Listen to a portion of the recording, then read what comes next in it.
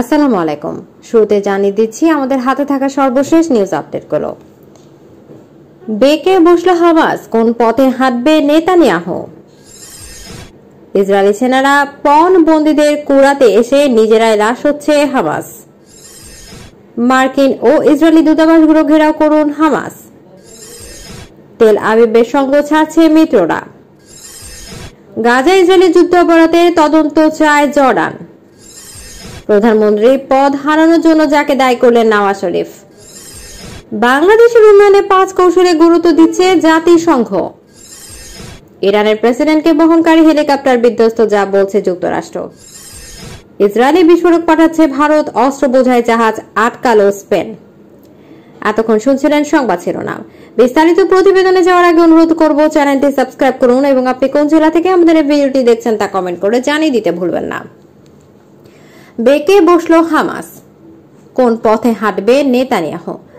অযাচিত কারণ দেখে ইসরায়েলের হামলা চালায় রাফায় বেসামরিকদের উচ্ছেদ করে নিয়ন্ত্রণে নিয়ে নেয় তারা ইসরায়েলের সেই হামলায় হামাস প্রত্যাখ্যাত করেছেন যুদ্ধবিরতি প্রস্তাব এদিকে গাজায় যুদ্ধবিরতি প্রতিষ্ঠানের সমঝোতার ক্ষেত্রে ইসরায়েলকে আর কোনো ছাড় দিতে রাজি না থাকায় কথা জানিয়েছে ফিলিস্তিনি স্বাধীনতাকামী সংগঠন হামাস তাই সহসায় হামাস ইসরায়েল দ্বন্দ্ব হচ্ছে না ইসরায়েল হামাসের দ্বন্দ্ব তুর্কি সংবাদ সংস্থা আনাদুল এজেন্সি জানায় যুদ্ধবিরতি প্রস্তাব প্রত্যাখ্যানের সূত্র ধরে ফিলিস্তিনের স্বাধীনতাকামী এই গোষ্ঠীটির সামরিক শাখার পক্ষ থেকে জানানো হয় দীর্ঘমেয়াদী যুদ্ধের জন্য প্রস্তুত রয়েছে তারা এক ভিডিও বার্তায় হামাসের ইজ্জ এল দিন আল কাসাম ব্রিগেডের মুখপাত্র আবু উবায়দা বলেছেন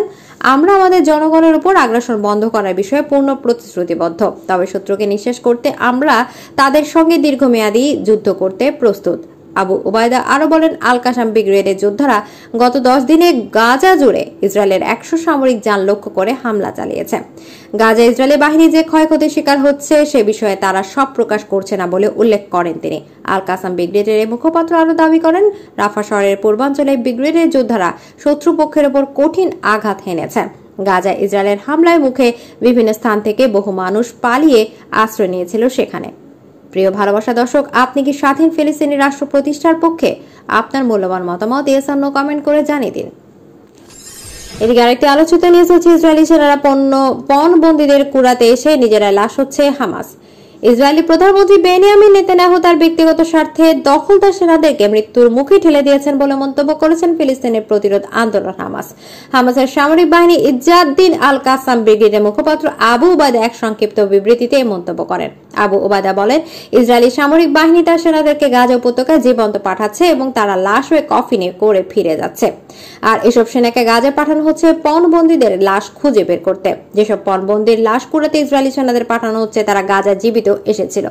নেতানিয়াহুর সেনারাই তাদেরকে নির্বিচারে বোমা মেরে হত্যা করেছে হামাসের সামরিক বাহিনীর মুখপাত্র বলেন নেতানিয়াহু লাশ কুড়ানোর জন্য তার সেনাদের মৃত্যুর মুখে ঠেলে না দিয়ে বন্দি বিনিময় চুক্তি করে সম্মানজনকভাবে আর পণবন্দীদের জীবিত উদ্ধার করে নিয়ে যেতে পারতেন কিন্তু তিনি তার রাজনৈতিক ও ব্যক্তিগত স্বার্থ ক্ষুণ্ণ হবে বলে সোজা রাস্তায় না গিয়ে বাঁকা পথ অবলম্বন করেছে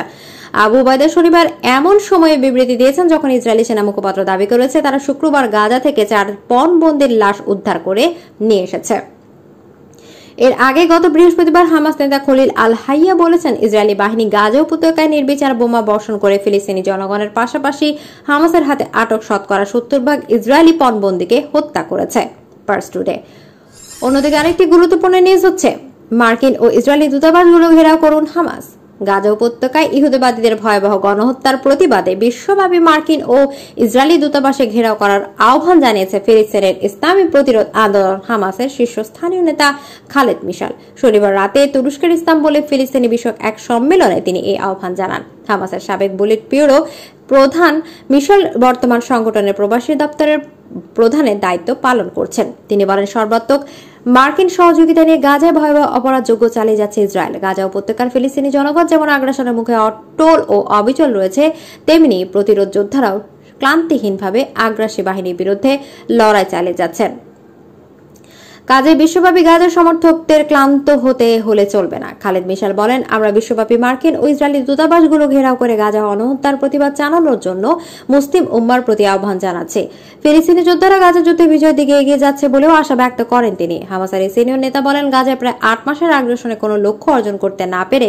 ইসরায়েল নিজের প্রতি আস্থা হারিয়ে ফেলেছেন পক্ষান্তরে ফিলিস্তিনি যোদ্ধারা ভালো অবস্থানে রয়েছেন এবং তার উপত্যকার বিভিন্ন স্থানে পুনর্গঠিত হয়ে তীব্র প্রতিরোধ চালিয়ে যাচ্ছেন খালেদ মিশাল দৃঢ় প্রত্যয় জানিয়ে বলেন আল্লাহ তালার ইচ্ছায় আমরা ইসরায়েলকে পরাজিত করার এবং ইহুদিবাদী প্রকল্পের ভরাডুবি ঘটনার ঐতিহাসিক মুহূর্তে অবস্থান করছে এদিকে আরেকটি আলোচিত খবর হচ্ছে তেল আবিবের সঙ্গ ছাড়ছে মিত্ররা পশ্চিমা মিত্ররা একের পর এক ইসরায়েলের সঙ্গে দূরত্ব রচনা করছে তেল আবিবে বোমা পাঠানো স্থগিত রাখার পক্ষে অবস্থান নিতে যাচ্ছে যুক্তরাষ্ট্রের ডেমোক্রেট সেনেটররা এদিকে গাজার আন্তর্জাতিক আইন না ভাঙতে সম্প্রতি ইসরায়েলি সরকারকে একটি চিঠি দিয়েছে বেশ কয়েকটি পশ্চিমা দেশ পশ্চিম তীরে বসতি স্থাপনকারীর বিরুদ্ধে নিষেধাজ্ঞা দিয়েছে কানাডা আর ইসলাম ইসরায়েলগামী অস্ত্রবাহী জাহাজকে নিজের বন্দরে ভিড়তে দেন স্পেন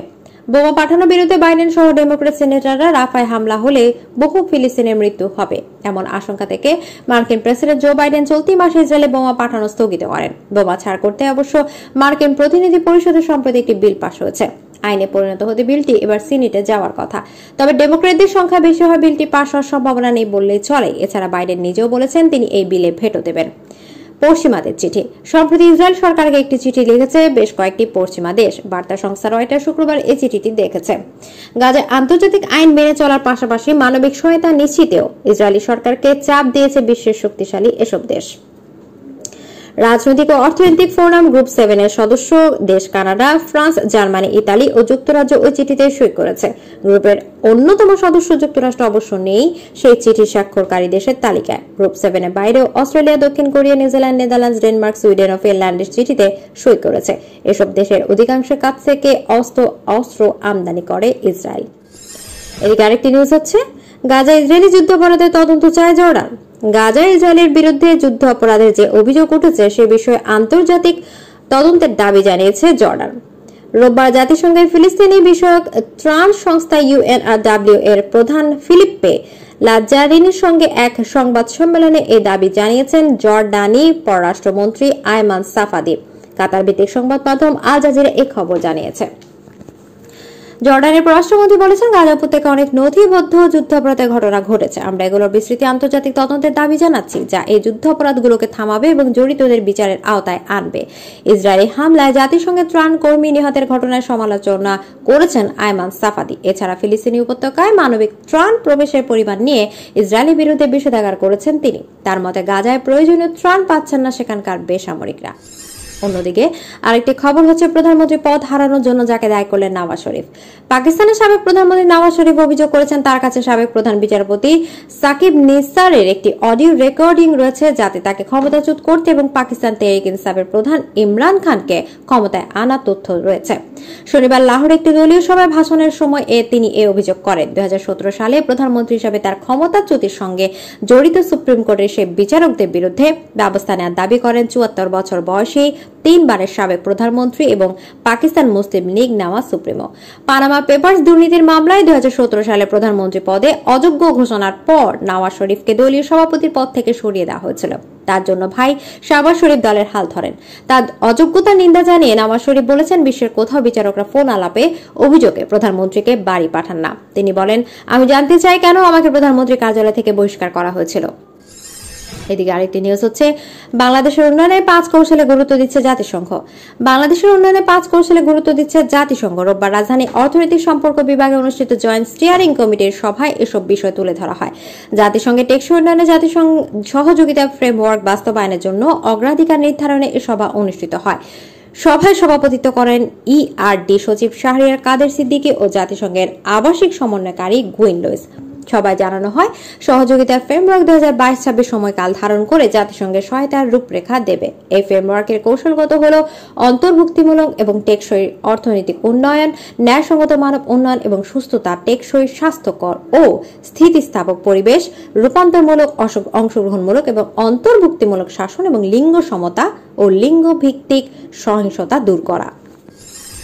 এদিকে আরেকটি হট নিউজ হচ্ছে ইরানের প্রেসিডেন্টকে বহনকারী হেলিকপ্টার বিধ্বস্ত যা বললেন যুক্তরাষ্ট্র মার্কিন পররাষ্ট্র দপ্তরের এক মুখপাত্র বলেছেন ইরানের প্রেসিডেন্ট পররাষ্ট্রমন্ত্রীকে বহনকারী হেলিকপ্টারের সম্ভাব্য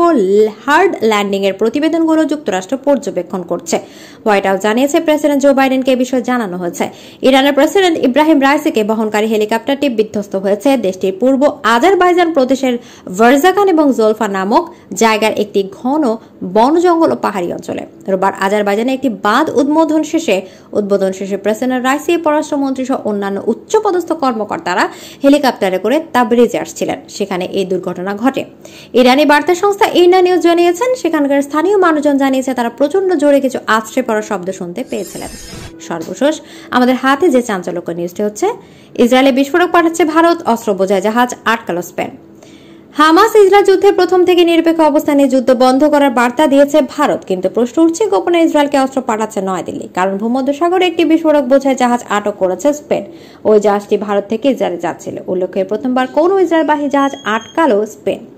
ভারতের সঙ্গে স্পেনের কূটনীতি সম্পর্ক যথেষ্ট বন্ধুত্বপূর্ণ কিন্তু ভারত থেকে ইসরায়েলগামী একটি জাহাজ স্প্যানিশ বন্দরে নোঙর করার অনুমতি পায়নি স্পেনের সরকারের তরফে বলা হয় আগামী একুশ মে কার্তাজেনা বন্দরে নোঙর করার অনুমতি চেয়েছিল মারিয়ান ড্যানিকা ডেনমার্কের যাত্রী রওনা দিয়েছিল চেন্নাই থেকে ইসরায়েলের হাইফা বন্দরে যাওয়ার কথা ছিল জানা গিয়েছে